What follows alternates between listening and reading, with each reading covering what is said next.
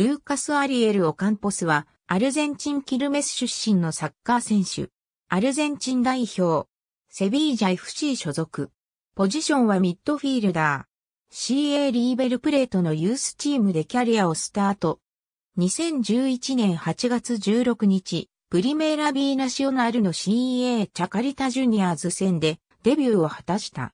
2012年8月、リーグ2の AS、モナコへ完全移籍。2015年2月2日、オリンピックマルセイユに買取オプション付きのレンタルで移籍した。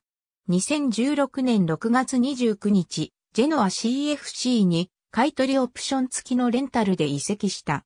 2017年1月30日、AC ミランにレンタル移籍した。2019年7月3日、セビージャ FC と5年契約を締結した。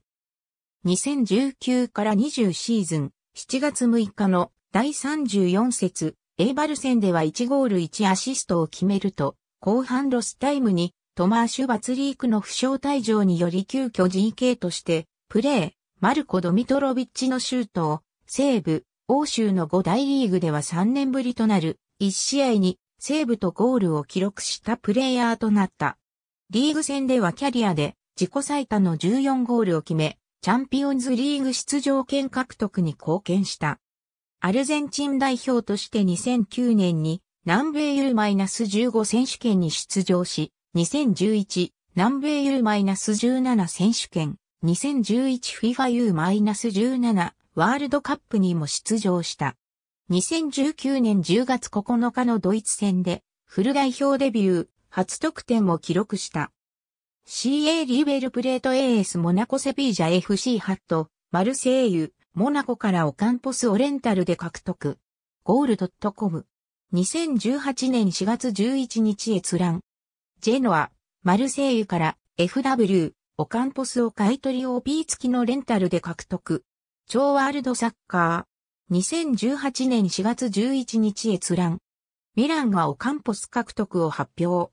ボナベントゥーラ離脱で大きな期待。ワールドサッカーダイジェスト。2018年4月11日閲覧。ルーカス・アコンポス・レフヤーザ・エール・セイビーヤ FC。プリシデント・デル・オランピク・デ・マーセラ。セビーリャ FC。2019年7月4日閲覧。1G1S のオカンポス、GK のシュートを止めた。フィールドプレイヤーは5大リーグ初。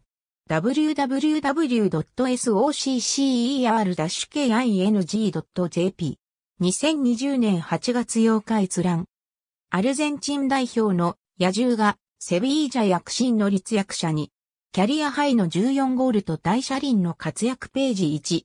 www.soccerdigestweb.com 2020年8月8日閲覧。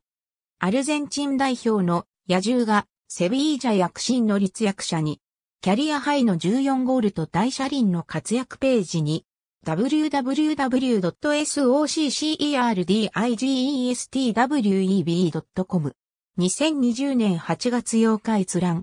ありがとうございます。